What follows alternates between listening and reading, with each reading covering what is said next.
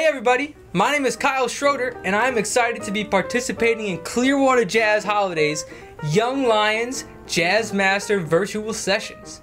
I hope you all can join me for my first session on Wednesday, July 1st at 5:30 p.m. My topic for this session will be aiming for a university jazz program, tips from a college student, which is me, with things to consider and what to expect. Now in this session, I plan to share what you can be doing as a high school senior or high school student right now to prepare for that next step, as well as the audition process in college. What does it look like? How do you apply? All this stuff. We could talk about all this. As well as what is it like studying music or jazz in particular on the daily in college. So this session will be perfect for anybody in high school really, and even younger. I'd love to talk about saxophone or music or anything with you. But for this one, we're going to focus on what it's like to take that next step to college. All right?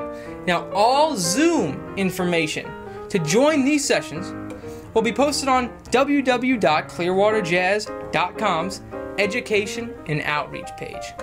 Now, I'm looking forward to hanging with you all on Zoom on Wednesday, July 1st at 5:30 p.m. for aiming for a university jazz program.